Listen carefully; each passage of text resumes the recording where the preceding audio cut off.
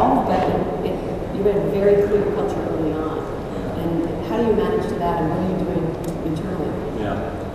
Well, here's how we think about it, and everyone, everyone does this differently. We've got, I know a number of people here that have companies and cultures, companies that have been around for 25 years, 50 years, 100 years, and have highly developed cultures.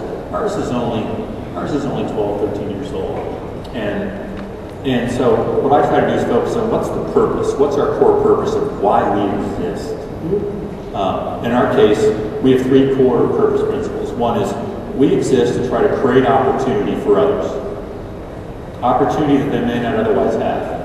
Small sellers, people that couldn't afford to buy something, people that couldn't afford to, or, or didn't have access to being able to pay and be paid. So we create opportunity so that they can have an impact on the world, and we have an impact on the world because of them. So it's not just the 16,000 eBay employees that have an impact on the world.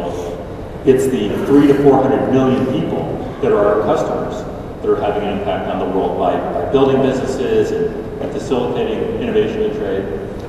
And our third core value is we care because our customers depend on us to make a living or depend on us with their businesses, their livelihoods. Um, you know, PayPal, PayPal goes down for two minutes.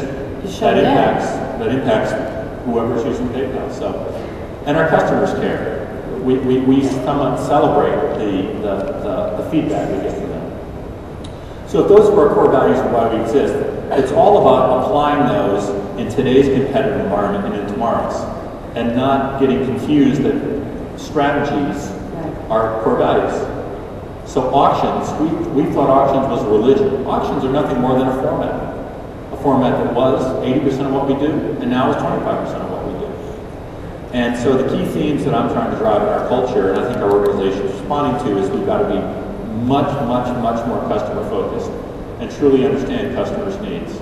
And that a small seller's needs different than a large seller's needs, um, buyers are different, so it's going to be much more customer driven.